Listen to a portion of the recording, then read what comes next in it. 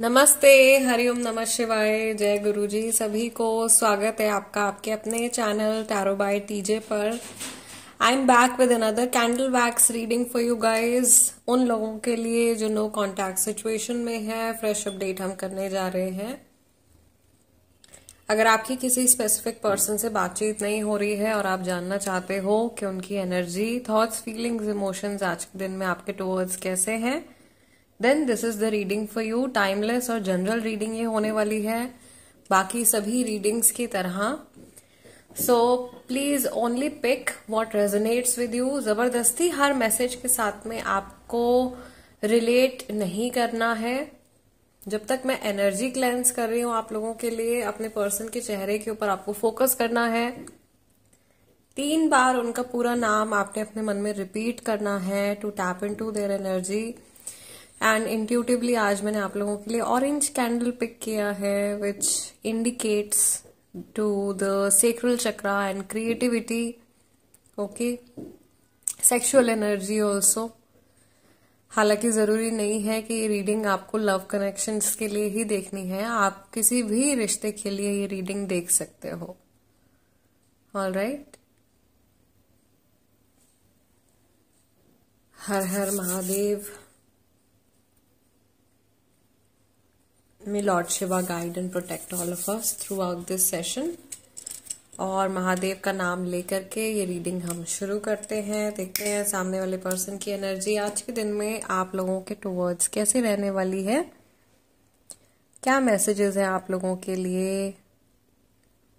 From the higher self of the other person wow I see सबसे पहला ही message जो है वो मुझे यूनियन का और एक बहुत ही डिवाइन प्योर सीक्रेट कनेक्शन मुझे यहाँ पे दिखाई दे रहा है। एक सेल्फलेस कनेक्शन मुझे यहाँ पे दिखाई दे रहा है। आई कैन सी कि एक दूसरे के साथ कनेक्टेड होने पर या एक दूसरे से जुड़ने पर और मे बी आप लोगों की ये जो जर्नी है, इसका जो मोटो है, जो गोल है to be with each other is basically to reach divine okay? आप लोगों की, दोनों की इंडिविजुअल आत्मिक वृद्धि के लिए ये कनेक्शन जो है बना है। आप दोनों मिले हो एक दूसरे से। एंड समहाउ आप दोनों एक दूसरे को सपोर्ट कर रहे हो इंडिविजुअल ग्रोथ में अपनी अपनी ग्रोथ में सपोर्ट कर रहे हो, ओके? आई कैन सी कि ऑल इस व्यक्ति से आपकी बातचीत नहीं हो रही है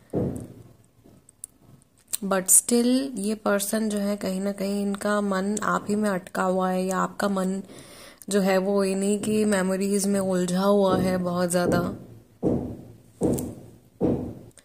I can also see someone who is commitment phobic आप में से काफ़ी सारे लोग किसी ऐसे व्यक्ति के साथ में भी डील कर रहे हैं जिनको कमिटमेंट का फोबिया है, जो कमिट नहीं कर पाते हैं या ज़्यादा समय तक किसी एक व्यक्ति के साथ में रहने पर उनको डर लगता है मे बी ओके वो एक फियर हो सकता है।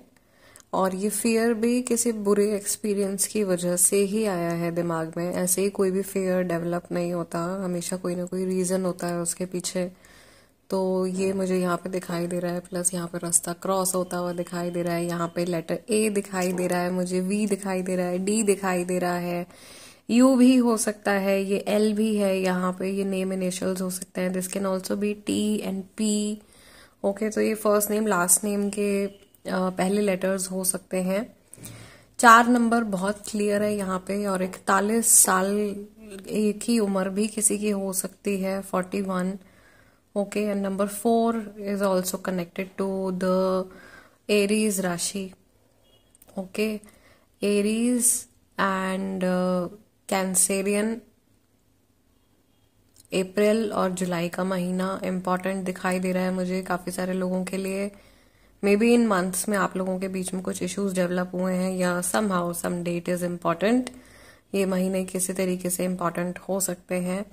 अभी फ़िलहाल आज के दिन में मुझे ऐसा लग रहा है कि ये इंसान पुरानी बातों के बारे में सोच रहे हैं और कुछ बुरी चीज़ें इनके दिमाग में आ रही हैं। या नेगेटिव बातें ज़्यादा शायद आज के दिन में इनके दिमाग में आ रही हैं। उसका रीजन भी हो सकता है, क्योंकि अभी जो हम लोग रीडिंग कर रहे हैं, मैं जो ये रीडिंग कर रही हूँ, ये मैं न्यू मून पीरियड में कर रही हूँ। So of course moon cycle का जो हमारा इमोशंस होते हैं, उस पर बहुत ज़्यादा फ़र्क पड़ता है ओके सो यस हो सकता है उस वजह से ये नेगेटिव साइड शेडो साइड देख रहे हैं, और ये अपनी शेडो साइड भी देख रहे हैं डेफिनेटली ऐसा नहीं है कि ये सिर्फ़ आपके बारे में सोच रहे हैं या आपने क्या गलत किया है उस बारे में सोच रहे हैं ये अपने बारे में भी सोच रहे हैं कि इनसे क्या मिस्टेक्स हुई हैं? यानी कि अपने शेडो सेल्फ को भी एक्नोलेज कर रहे हैं कि हाँ भाई, मुझमें ये कमियाँ हैं और ये आई थिंक हिम्मत जुटा करके एटलीस्ट खुद से ही यू नो फेस करने की कोशिश कर रहे हैं। अगर कुछ झूठ बोला है किसी ने, अगर कुछ हर्ट किया है बिट्रे किया है इन एनी वे और वो उस चीज़ को एक्सेप्ट नहीं कर पा रहे थे, या अपने मन ही मन में यू नो जस्टिफाई कर रहे थे कि अरे नहीं भाई सिचुएशन ऐसी थी तो मुझे ऐसा करना पड़ा। बट अभी मुझे ऐसा लग रहा है कि ये ज़िम्मेदारी ले रहे हैं कि whatever the situation was ultimately जो डिसीज़न था या जो कर्म था, वो तो मुझे ही करना था। मे बी सिचुएशन अगर टफ भी थी तो भी मैं दूसरे तरीके से रिएक्ट कर सकता था या कर सकती थी। Okay okay? ये बहुत ही क्लियर मैसेज आया है। एंड हमेशा होता ही है ऐसा आप लोगों के स्पिरिट गाइड्स की तरफ़ से ना। एक ना एक मैसेज हर रीडिंग में बड़ा क्लियर आ जाता है, बहुत क्लियर आ जाता है। आई डोंट नो किन के लिए है बट है ऐसा कि ऐसा नहीं है कि इनको नहीं पता था कि ये क्या गलत कर रहे हैं। इनको सब पता था। इट्स जस्ट दैट ये उस चीज़ को मान नहीं रहे थे और अभी ये अपने मन में आज के दिन में वो अपनी गलती को महसूस कर रहे हैं फील कर रहे हैं कि हाँ मुझसे ये रॉन्ग हुआ है। ये चीज़ गलत हो गई है और इसको फिक्स भी करना चाहिए बट कैसे करना चाहिए, अभी पता नहीं है। और अगर आप लोगों के सेपरेशन को जिनसे आपकी बातचीत नहीं हो रही छह महीने से अधिक समय हो गया है। छह महीने से ज़्यादा का टाइम अगर हो गया है तो भी मैं यहाँ पे देख रही हूँ कि ये पर्सन जो है आम, वापस आने के बारे में सोचते हैं। आज भी सोच रहे हैं। आज भी ये थॉट इनके दिमाग में आएगा कहीं ना कहीं। ठीक है? मे बी बहुत अर्ली मॉर्निंग हो रही है ये थॉट या एकदम रात को सोने से पहले इस तरीके का थॉट और फीलिंग जो है वो आ रहा है। ओके क्योंकि ये शेडो टाइम ही मुझे दिखाई दे रहा है, ये सूरज की रोशनी वाले समय में नहीं हो रहा है। ये या तो एकदम सुबह सुबह है, जैसे चार, साढ़े चार बजे कई बार आँख खुल जाती है, अचानक से ब्रह्म मुहूर्त में आँख खुल जाती है। वो टाइम बहुत खास होता है, उस टाइम पे आपको जो भी रियलाइज़ हो रहा है जो भी आप फील कर रहे हो अपने बारे में, अपनी स्पिरिचुअल सेल्फ के बारे में, अपने रिश्तों के बारे में, उसको हमेशा नोट करना चाहिए। वो बड़ी इंपॉर्टेंट हम लोगों को एक तरीके से ना गाइडेंस मिलती है उस समय पर, ब्रह्म मुहूर्त के टाइम पे। आप ऐसे ही इमेजिन कर सकते हो कि एक इनविजिबल एंटीना जैसा हमारे सर के ऊपर है और वो एक्टिवेट हो जाता है सुबह जब ब्रह्म मुहूर्त का समय होता है। तो उस टाइम पे हम जो भी विशेष भी करते हैं ना वो भी लाइक सीधा डिवाइन तक पहुँचती हैं। और डिवाइन की तरफ़ से भी जो मैसेजेस हैं वो बहुत क्लियर हमारे रियल्म तक ह्यूमन रियल्म तक पहुँच पाते हैं। Okay so I feel I think ये चार बजे चार यहाँ पे नंबर भी बना था तो सुबह की ही बात हो रही है शायद। शायद अचानक से इनकी आँख खुलने वाली है या आज के दिन में अचानक से अर्ली मॉर्निंग इस पर्सन की आँखें ऐसे करके खुल गई हैं। कुछ सपना में भी हो सकता है इन्होंने देखा है। और एक फीलिंग जो मैं यहाँ पे इस पर्सन की तरफ़ से चैनलाइज कर पा रही हूँ इज़ लाइक कि इनके हाथों से ऐसे कुछ खिंचा चला जा रहा है, कुछ छूट रहा है जो ये छोड़ना नहीं चाह रहे हैं या जैसे कहते हैं ना हाथ मलते रह जाना बात निकल गई है अब तो आपस हाथ मल रहे हैं। तो वो चीज़ हो रही है उस वजह से इनकी एनर्जी में बहुत ज़्यादा रेस्टलेसनेस मुझे दिखाई दे रही है बहुत बेचैनी दिखाई दे रही है। एंड uh, ऐसा लग रहा है जैसे कि इनको समझ में नहीं आ रहा है कि इनकी इन लाइफ का इन्होंने बना क्या दिया है। लाइक like, ये क्या हो गया है लाइफ में? वो समझ नहीं पा रहे हैं अंडरस्टैंड नहीं कर पा रहे हैं। यहाँ पे काफ़ी सारे लोग ऐसे हैं जो किसी ऐसे पर्सन के बारे में भी सोच रहे हैं जो या तो ड्रग्स या अल्कोहल या किसी और तरीके का कोई भी नशा जो है ना एडिक्शन जैसा मुझे दिखाई दे रहा है उसके इन्फ्लुएंस में रहते हैं और उसकी वजह से भी बहुत सारी चीज़ें इनके और एक फ़ील्ड में खराब हैं। और अच्छी चीज़ें आती आ, आने वाली होती है इनकी लाइफ में और ये अपने नेगेटिव थॉट से उनको खुद ही रिपेल कर देते हैं। ये गड़बड़ मुझे ऐसा लग रहा है कि ये पर्सन कर रहे हैं या आप में से ज़्यादातर लोग जो इस व्यक्ति के बारे में सोच रहे हैं वो इस तरीके की प्रॉब्लम क्रिएट कर लेते हैं।